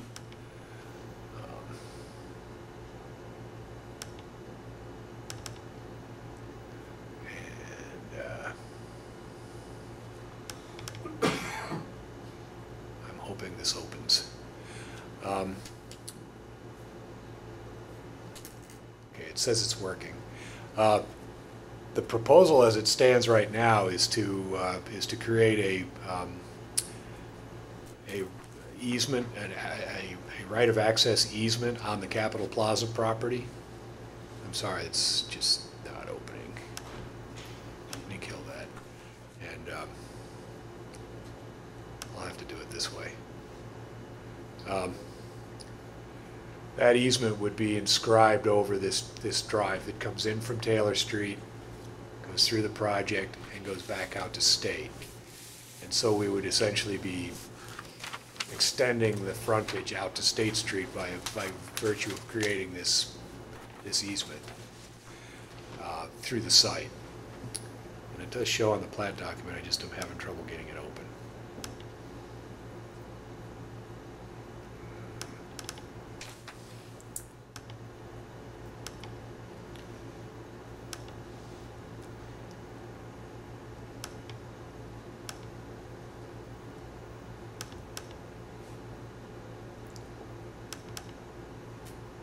Ah, That's not helping. I'm sorry. But that's the plan anyhow, is to create, a is to, is to solve that by creating an easement. Uh, There's been some back and forth discussion about how wide that needs to be to meet the requirement. Um, We would prefer it to be 24 feet wide because that comports completely with the drive lanes that we have. Um, It doesn't, uh, it doesn't necessarily um, uh, meet the, the text of the, the ordinance, which I believe says 30 feet. Um, If, if it were wider, it just means that it would overlap parking spaces in a kind of awkward way, but other than that, really, I don't think is um, a well, if it, problem. I mean, if it did overlap with the parking spaces, um, is no, I don't think the requirement is that it occupy. I mean, you could still have those parking spaces as long as, but I think it's the idea that it- if the city needed wider access, it would have that Yeah. um, for the 30 feet. Is that something that is negotiable or- or, I mean, a possibility, or is it likely that it's going to be 24 and that's as wide as, Um, I'm sorry, Dan, can I interrupt for just a second? Because I think we're operating under some misconceptions. So, the, my read is that this new parcel needs to have thirty feet of frontage on a private or public road. So the thirty-foot wide part only needs to be the part that's touching the parcel. Right. Right, so I just want to make sure that we understand that thirty feet aspect, I don't believe the thirty-foot wide aspect needs to extend all the way to State Street. right, but we're talking, we're, we're we're just- talking merely touching, yeah. Yep, I just want to make Um, sure, because when we're talking about having to act, cover the parking spaces further out, just because, in you know, the parking Right. spaces aren't right up against the building. Okay, But I'm also concerned just simply from a, a right-of-way access. gotcha. um, We were just mixing what we were talking Yeah. about. Okay, thank you. Yeah, we, we've been happy to do, I, our clients are happy to do it either way, but we've, from the very inception of this project, sorry, we've been, we've been thinking of this as, as wanting to be like and look like a street, as opposed to a parking lot, which is what you go into now when you go there. So, uh, it's been a working title for, it. it's been Hospitality Way, although I, I gotta believe you probably have some noteworthy Montpelier resident who could be memorialized with a street name. But at any rate, that, uh, however you tell us you want it described. Right. Do we Support still, to do it. Meredith, do we still have the right to name streets under the DRB? Um, I believe that Audra needs to check and see what's available. Okay. The old, well, I mean, the old bylaws used to give this board the I, power. I think the board still has, Still has the power. a- at, at least some of it. I, I, I honestly, this will be the first time I've dug into that too much. Okay.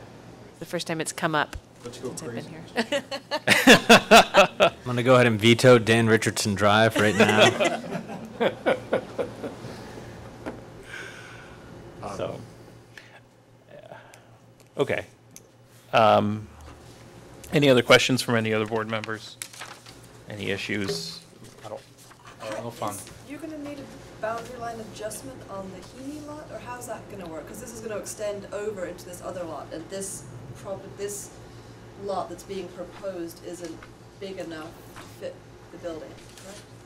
Well, well, both the, the lands of Haney and the, uh, um, the the lot that's getting calved off by the uh, um, Capitol Plaza Corporation, uh, both will be involved lands.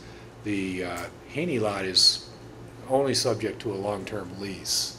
So the directions we've been getting from other parts of the city government have been that, uh, is that, is that we wouldn't change the shape of the Heaney lot or anything like that we're frankly looking for folks on your side of the table to tell us just how that needs to be structured. Um, But we weren't planning on s- further subdividing the Haney lot in any way. I think your client was raising his hand. Oh, Yep. Please do, thank you. Because it is a confusing part. Bill Fraser, city manager.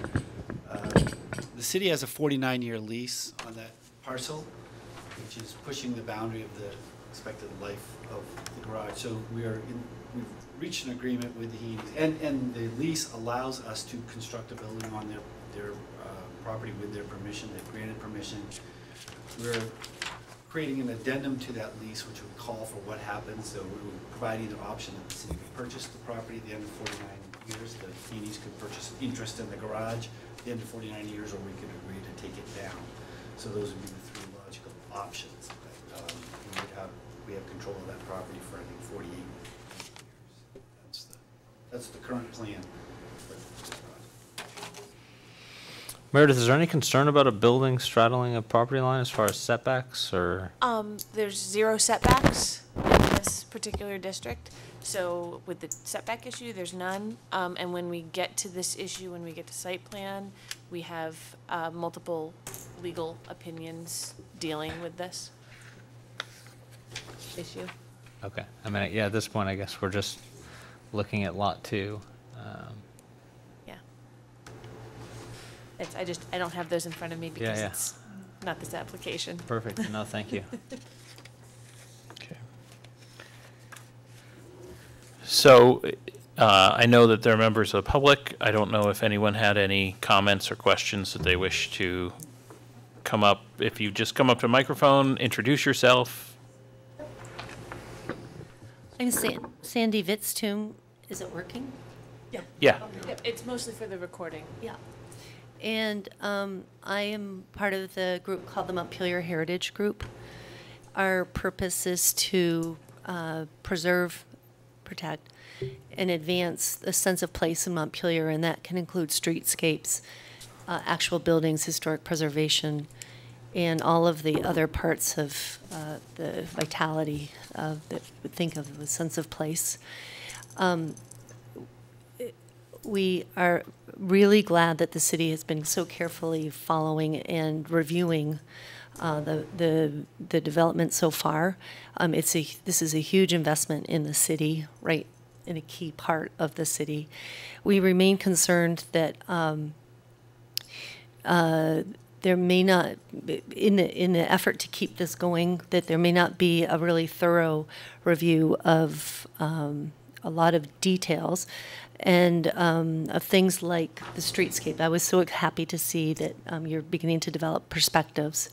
I had some concerns when I looked at them about relative elevations. Um, they used to float balloons to actually make sure that things were accurate as a way to prove that the perspective rendering is, is correct. Um, and it's hard to compare a, an occupied building like the plaza with a parking garage. So it would be, it might be really useful to have balloons or something because, you know, the floor to floor is different. Um, but I know tonight you're actually speaking about the subdivision, and I have a couple of very innocent questions because I, I didn't know. I just sort of, in general, curious about the subdivision. Um, I I think the zoning ordinance uh, kind of discourages people from making non-conforming lots, right? Mhm. So what this would accomplish being a conforming lot? Good. Yep. As, I mean, some of the issues that we're raising, and Meredith, if you want to, Yeah, I mean, the, the big issue about whether or not this would be a conforming law is the frontage. Yep. The frontage needs to be ironed out. Well, the other thing is, I'm just thinking about the parking garages that I've been to, um, the ones that are easier to use and the ones that are scarier to use. And it seems to me that they work well when they're on a street. And I was trying to think of my mind, what is a street? A street is, it has something that has kind of people going both ways. It has a destination at both ends as opposed to an alley. And alleys uh, can be a little bit scary, and also be harder for people to find their way through if they're new to town, like people visiting a hotel. So I'm confused, um, and maybe this actually might be the best drawing to to explain my or help me fix my confusion, which is is is this the road? Is an L shape? Is is the quote street and That then dark shaded area is the proposed and you're access. forming the corner because there's no way to get through to the Heaney lot to make it a through street. Not, uh, but because the Christ Church Episcopal owns Yeah. all that land to the east Yeah. of that point. Okay. Oh, you can't reduce the usable footprint of the. You can't make cars smaller so that the garage can get narrower. Got you. Okay. So that is there. There is technically a way through. Um, are you going to be changing the way the parking layout? Because I, I cut through that way sometimes with my little tiny Subaru, and it's kind of hairy driving just that, that path that you have now. uh, Oh, there, the- the, through uh, the the roadway? Yeah, I mean, I'm I'm guessing that the new hospitality street will be a little wider and more street-like than you know the back way through the Capitol's parking lot. Se- Several things will be happening. Uh, One is that the finished grade will, will be less of a roller coaster. We're gonna smooth that out so that it's, it's a more continuous grade and not, uh, there's some big dips in there. Uh, But there'll also be sidewalks and trees and, and uh, curbs. Um, So it'll, it'll feel a lot more defined as a road as opposed to now, which is it's one, one continuous surface of pavement with different kinds of striping on it. And for instance, from your new garage to State Street, which comes out, I think, by the post office, will that be more like a street with parallel parking or? Well, par- I mean, we're, we're showing, we're continuing to show the perpendicular parking here. Um, some of that is necessary to serve the commercial tenants in the Capitol Plaza building, the bank, um, most notably, a hair salon and a barber shop, and uh, the state has office space in there. So, um, uh, those will stay as, uh, with, with perpendicular parking, but yeah, in terms of it being street-like, you know, we're, that's our goal, is to have curbs and sidewalks, and we've got a continuous accessible route that comes down along the side of that and, and to the garage and to the hotel building.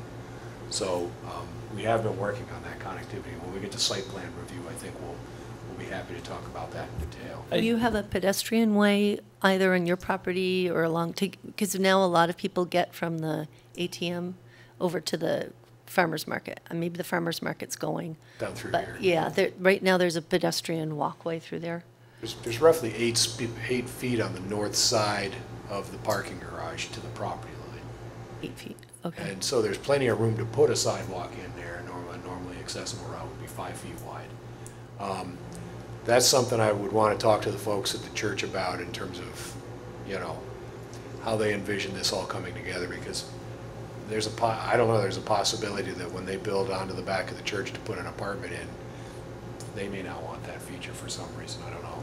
It's just, I think with sense of place, um, developing a really successful grid for both cars, pedestrians, bicycles, um, that is rich rather than, you know, a, a bunch of dead ends. Yeah, And I don't want to resist any of that. I, I'm only looking out for, there's another property owner involved. So uh, that's the only reason I'm hedging. So Greg, actually, this raises some questions. um, Where the, where the proposed right-of-ways come out at State Street and Taylor Street, right now, these are almost like driveway entrances. Is the proposal that those would be more street-like in that they would be more, uh, almost like an intersection where the, the road would not be going essentially off of a sidewalk ramp, um, but would, would meet State Street or Taylor Street on its same grade? And have crosswalks and. And have crosswalks? Yeah, those Crosswalks. kinds of things. Um, No one's asked that question before. I mean, I, yeah, we, we were planning on, you know, especially at Taylor Street, that intersection gets a lot of rework because the city's already started their project to- to dress Taylor Street up. And so there's, there's gonna be improvements at that intersection. Um, None of the documentation I've shown so far has, has shown that relationship changing. I would have to talk to our civil engineers about Okay. about how that is and why. Uh, The only thing I know for sure is we, we would want to make sure that stormwater flows running down the curbs of State Street didn't come down into the project site, because there's a drop of grade down through there.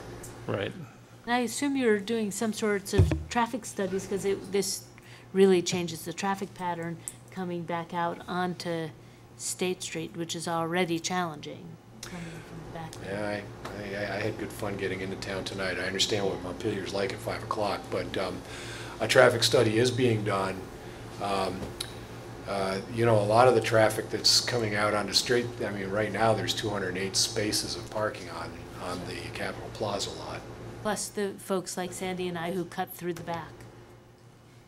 Right, to, you know, to come around, yeah. Um, Sorry. There we go. Um, Yeah, but those are, those are valid questions that we, we should resolve. And on the, along the, um, the right-of-way that heads up from the north, from the parking deck towards State Street, on the right, on the right side, the east side, if those parking spaces are reserved, is there a plan for pedestrian circulation for them to essentially cross over towards, because most people that would park along where your arrow is and up, you know, would be using the Capitol Plaza or similar facilities? Um, There's two, there's two questions there, whether or not these are reserved spaces, and I, I think I might have to defer to Sue and Bill on that, because uh, the city's been talking about. I have an answer. Are you talking about the spaces in the Heaney lot or the? No, no, In right where his, right where his cursor is So along, those spaces, well, I think some of them are in Northfield Savings Bank. We have to look at the ownership of, uh, I know the church is, one of the options that we're actually pursuing is that those would become city streets. Mhm. We just didn't think we'd be able to have that all done in time for this process, so we decided to go for the deeded right-of-way for, to get this. So At some point, those may all become entirely city streets, which case we'd have more. That, that's really our long-term preference, but for now, this is where, where we're at. right, okay. So. Well, I mean, Exact obviously. answer about reserves. No, but, uh, you know, as long as those, those spots do remain, uh, uh, you know, because we're changing the nature of that from really um, a driveway entrance exit slash cut through um, in, into what's going to be a main ingress egress for a substantial parking deck. Um, Whether there would be a- any type of either crosswalk or other type Yeah, of, So I agree with Greg, we hadn't really talked specifically about the crosswalk at State Street, that if it Mhm. becomes a street, that makes perfect sense. I don't know why we wouldn't do that, just to signal that that's what it is. And I think, you know, to, to the, Greg's credit there, the, its current function is to provide, is access to parking.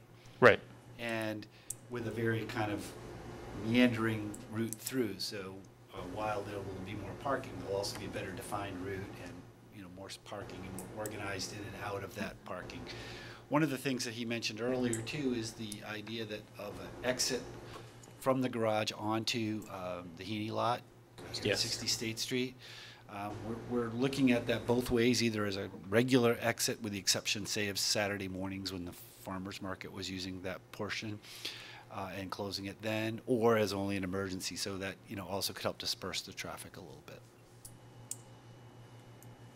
Thanks. Thank you.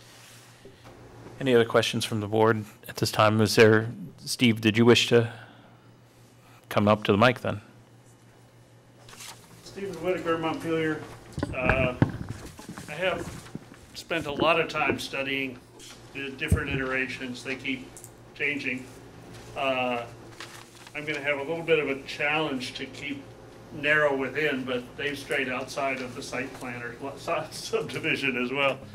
Uh, The setback from the north branch is going to be a fundamental uh, defining characteristic. That bank is ambiguous at best right now. The top of the bank and the bottom of the bank are some eight to 12 feet difference. Uh, So the distance from the corner of the garage, uh, right there, yep, right there to the So- so right river is, I stepped it off at about 19 feet, but you're, you know, you're trying to move a, a very heavy garage. So, um, I think you're, the design, development review board is gonna need to require a clear marking survey quality, uh, uh, aqua, aqua engineer, water engineer to define what's the riparian boundary there.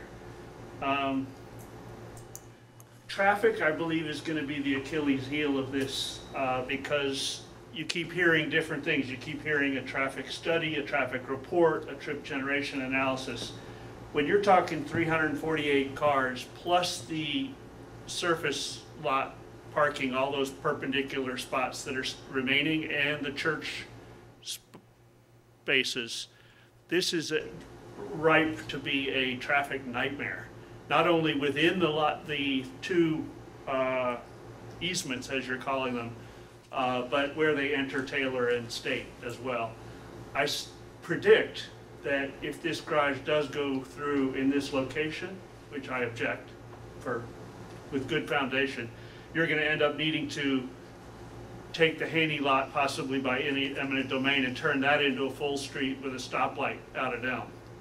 Because the number of times that these spots cycle from previous parking studies which the city has conducted during a day, multiplied by the number of spaces in it, multiplied by the other congesting traffic perpendicular in most cases, is gonna be a royal nightmare. And yet, the city is acting as the developer here and not, no longer the regulator. And so the typical due diligence that, and skepticism that would be applied by uh, officials, employees of the city, uh, may not be brought to bear, and it may fall inordinately to this Development Review Board to investigate those. Um, I want to quote one line from 3505, where the purpose of the district is to maintain compact and walkable, emphasis on walkable. And then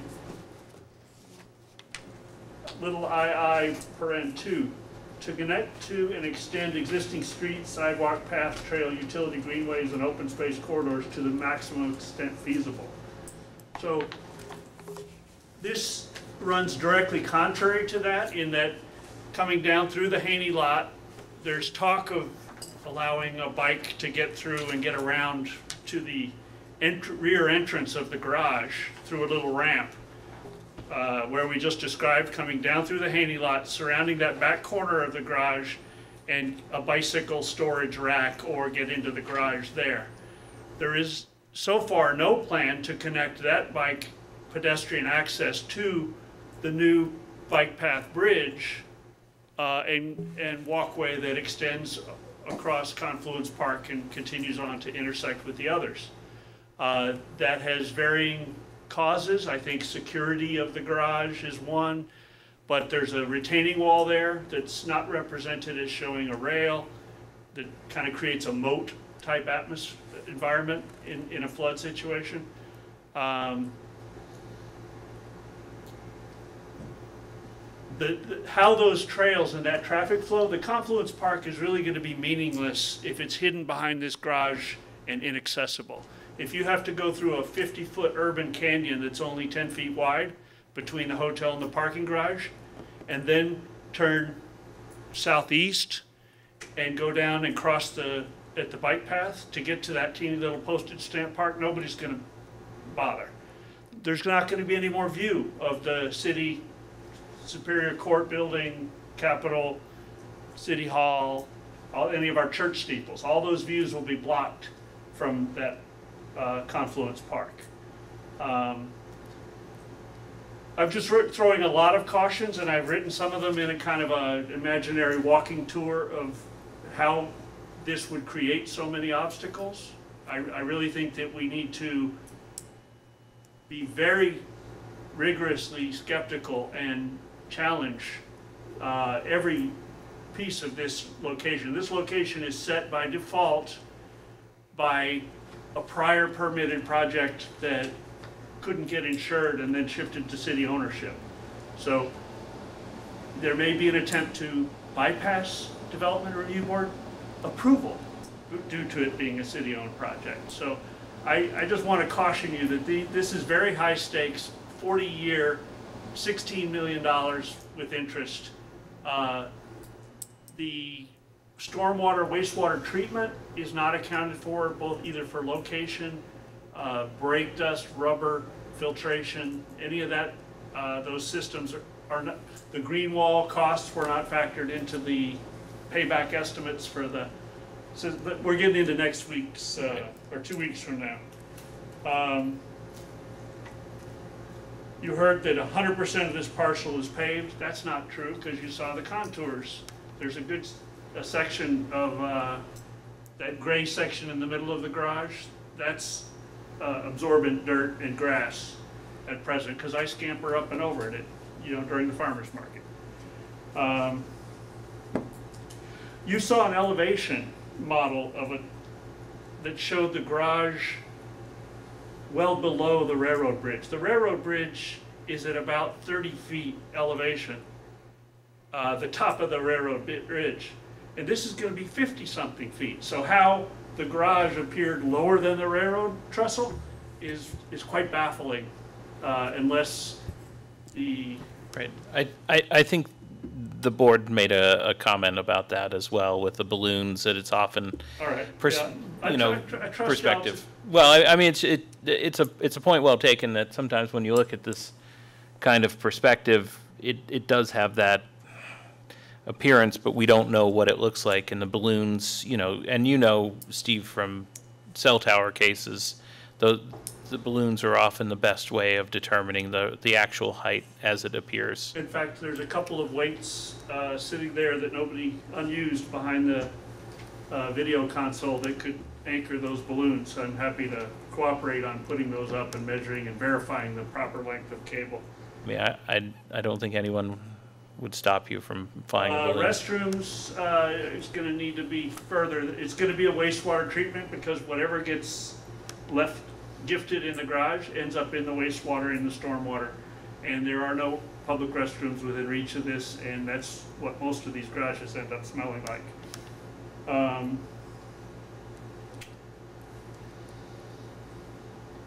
I think most of the rest can wait, and I will provide you with uh, some written stuff that will help prompt your questions and refine your questions for next uh, hearing. Thank you. Um,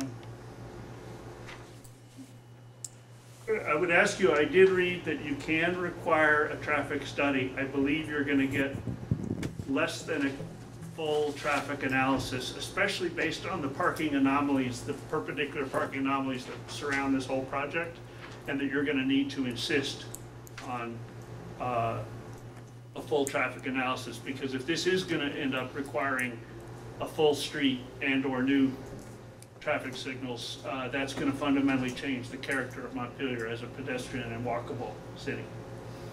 Thank Thanks. Any other questions from the board? Can I just say? Yeah. Uh, If everyone who spoke tonight can please make sure to put their addresses down on that form sign-in sheet, I'd appreciate it. Thank you. And, tha- and that's for mailing purposes, is that right? Yeah, that's for mailing purposes. Okay. Claire? Um, permitting an Act two fifty, so this is being developed separate from the hotel, but when the hotel gets Act two fifty, is this part of the Act two fifty application? The, the guidance we've had from the district coordinator is that they want to see one application covering all of it. We would have preferred to come in with two separate applications, but nonetheless, uh, it's our hope that the project will be reviewed under Board Rule 6068B, uh, which is sometimes called the off-ramp. We're collecting uh, findings from various state departments right now. uh, Several of them are enumerated in the rule. Uh, But we hope to uh, perfect an application for, uh, to the District 5 Commission to have findings on this, that, uh, that a permit's not required as part of a designated downtown, On the, on the parking garage? on the whole thing. Or the whole, oh, okay. on the whole thing. And like I said, we would have rather processed two separate applications. Um, We got a, we got a jurisdictional opinion from the district coordinator that a, a hotel room is a dwelling unit, and so there's more than ten rooms, it would have to have a permit.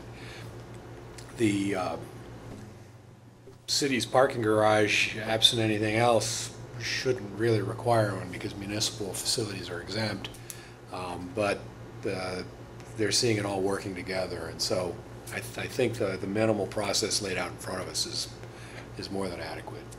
So much of the Act 250 criteria don't apply uh, in an urban lot. You know, there's not an issue of forestry or prime ag soils or, so we're getting the letters and sign-offs on that, and, and hopefully that will be processed sort of on on a parallel track with this set of applications. Great. Any other questions? Yeah, Rob? Yeah, um, so there's been some discussion about the river setback. I was just wondering if that was something, uh, that if you had a draft survey plat, the next meeting, that that line was going to be shown and determined, or have you already? The, the drawings on Civil Engineering Associates title block, including this one, are the result of a very detailed survey undertaken by them. So, So they, I mean, we can bring the worksheets, but the, uh, t- the, the top of bank was defined as this first dotted line here. This parallel line to it, this heavy dotted line here, is the twenty-foot setback required in this district. Okay. And according to your rules, uh, roughly fifty percent of that can be covered up. Um, The, uh, the only part of the river frontage that really belongs to the project's down here. Uh, Because there's a property corner there and all of this belongs to Overlook Partners. Um, But I'm, I'm supremely confident that our surveyors have adequately sure. identified the location of that top of bank. Absolutely. Okay. Great. Okay, unless there's any other questions or concerns, I think this will conclude site plan, or sketch plan, uh, sorry, long night. Sketch plan review for the uh, City of Montpelier's uh, parking garage project at 100 State Street. And given the new bylaws, we don't have to actually make any motions or review anything to determine. The next step, of course, would be the, um, the actual site plan and final, final plat review for this subdivision. Yes. So, thank you all. Thank you for your time, everyone. Yep. Thank you. Okay, uh, the other business for this evening, the next regularly scheduled meeting is Monday, October 15th, 2018, 7 PM. Same time, same channel. Okay. Um, And probably same applicants. Um, Any other new business? Uh, Yes, uh, if this question for Meredith. Meredith, um, draft findings that are filed, my understanding was they would be circulated among the board members before being finalized. Am I, am I, am I Okay. correct in this? So it's something that we have done, I think, when we have had decisions where we, there were questions on how, it how they were dealt Right. with. Well, We were, we, we weren't necessarily gonna do it with all of them, because it, or it wasn't necessarily something that was discussed where we were gonna do that with all of them. Well, with regards to deliberative session, mm-hmm. This is what I'm talking Right. about. And I, and I don't believe that we've seen those draft decisions circulated among the membership. So, Okay, And I'm asking Yep, and- that they be circulated. Okay. sure. I mean, there, um, so I think we were going under the understanding that, as in past practices, that if the board had decided a certain direction, that uh, the chair and staff would draft it up and I'd sign it. Um, And so we haven't been circulating those. So that Um, would be. So there, so for example, the school School. um, issued, did you issue it Friday? No, I haven't had a Okay. chance to. I was, I was working Okay. outside of normal Well, great. hours Then on we Friday, can- so we then can still share that We one. can still share that one. I, I- I don't, I don't want to make this a, a an additional burden, but I do think it's important. That's fine. To, to solicit the board's uh, input. And if you don't have a comment, you don't have to respond. You can just make the assumption that, you Um, know, twenty-four hours to review or whatever Well, is a reasonable period of time. Okay, so. Yeah, I think I'll, I'll for- either give a set time to review. Yep, I think that's and- perfectly legitimate. Okay. But I do think it's important that the board have a chance to do a walkthrough with uh, the draft. I think that makes sense for the deliberative session. Yes. Um, I'm not talking about every. Okay. Right, for example, like the decisions that we issued tonight, essentially Meredith will help draft. I may do a final review and then sign and, and I issue really am those. focusing on the deliberative session. Okay. Yep. And in, in, you know, as I, as you've seen in what we've circulated, one, two others, that really the, the staff report as mu- as much as possible is the first draft. So, It is. okay. And you do a great job on those. I want to acknowledge that. Thanks. Okay, I have a so. question that maybe is follows up on that, and, and I'm just curious on how Montpelier does it, because I know it's, it works differently in different towns. When, when the decision is made here, is that when you consider the date of the decision, or this is the decision of it is when you sign it? Because I think, I've, I've heard there can be a bit, a bit of a tricky, you know, when did you verbally approve it versus when do you actually sign it to when it's actually approved for the thirty days, and I was curious on how you handle that. Yeah, so, so the decision in here triggers the forty-five day window for the decision. For Decision a decision to issue. Yeah, for a decision to For uh, deemed approved purposes. And then the actual written decision is the trigger for the 30-day appeal period. When that decision is signed, the signature Okay, date so- on the written decision is the beginning of the appeal period. Okay, so when, so when they leave, I just wanted to make sure that when they leave here and they're verbally hearing you're approved, they're not thinking, oh, that starts my thirty days, like, that thirty days Yep. doesn't start until they actually get the paper in their hands, there's a, there's a gap. And that's why we had the clarification for the first application, that they need to wait for the permit. Mm-hmm. And that, that lays out clearly for them when they're, when, there, there's a date on there that says when the appeal period is over. Okay. Any other? I'll take a motion to adjourn.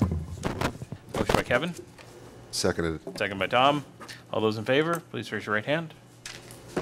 We are adjourned you